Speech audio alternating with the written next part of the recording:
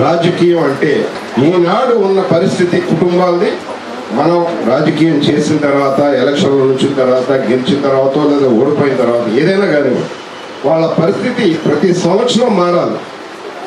ఇవాళ మనం చూస్తా ఉన్నాం తెలుగుదేశం ప్రభుత్వం.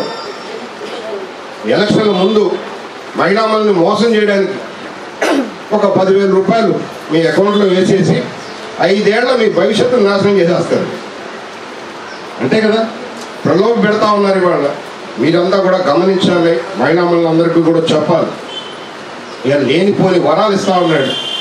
రిజర్వేషన్ అన్నారు. మళ్ళీ దాంట్లో కాపులు వేరేగా ఐదు పర్సెంట్ అన్నారు ఎందుకు ఇది? సమాజాన్ని ము- ముక్కలు ముక్కలుగా చేసి తన పబ్బం కలుపుకోవాలని చూస్తూ ఉన్నారు. ఎవరు డబ్బిస్తున్నారు మనకి? మనం ట్యాక్స్గా కట్టిన డబ్బుని మనం అంటే మీరు అనుకుంటా ఉంటాం మేము పేదవాళ్ళు ట్యాక్స్ కడుతున్నాం సార్ అని అడగచ్చు. అమ్మా నువ్వు టీ తాగినా ట్యాక్స్ కడుతున్నావు. నువ్వు పంచదార కొనుక్కున్నా ట్యాక్స్ కడుతున్నావు కేవలం డబ్బు ట్యాక్స్ కడుతున్నారన్న భావన వద్దు. ఆ డబ్బు అంతా కూడా మనది. ఈ రాష్ట్రంలో ట్యాక్స్ రూపంలో వచ్చింది. మనది. అది సక్రమంగా వాడాలి. మన పిల్లల భవిష్యత్తు బాగుండేటట్టుగా వాడాలి.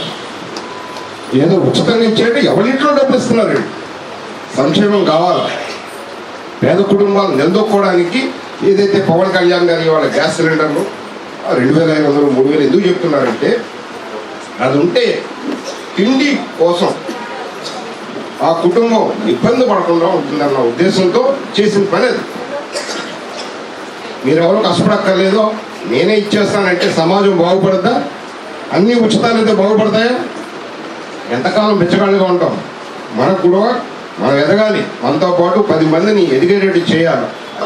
నలభై ఏళ్ళ ఎక్స్పీరియన్స్ ఉన్న చంద్రబాబు నాయుడు గారు రోజుకో వరం ఎవరి డబ్బులు అప్పు చేసేస్తున్నాడు అప్పు ఎవరికి ఇచ్చాలి? మనం పన్ను కడితే కానీ తీరదు. దాని వడ్డీ అయిపోతూ ఉండదు రేపు పొద్దున. కాబట్టి మహిళా సోదరులందరికీ కూడా మీరందరూ కూడా ప్రతి ఒక్కళ్ళు ప్రతి కుటుంబానికి ఈ ప్రలోభాల గురించి మాత్రం ఖచ్చితంగా చెప్పాలి. వాళ్ళని పేపర్ తీసి చూస్తుంటే ముప్పై వేల కోట్లు అప్పు చేయడానికి చంద్రబాబు నాయుడు గారు ఎలక్షన్ కోసం సిద్ధపడ్డారు. అప్పు మన తరఫున చేసేస్తున్నాడు కాబట్టి ఇదేదో ఉచితంగా ఇస్తున్నాడు. బ్యాంకులో పదివేలు పడినాయి ఈ పదివేలు మీ పిల్లల భవిష్యత్తు కానీ మీకు నాణ్యమైన వైద్యం దొరికే విధంగా కానీ ఒక నాణ్యమైన విద్య దొరికే విధంగా కానీ మీకు ఉండదు.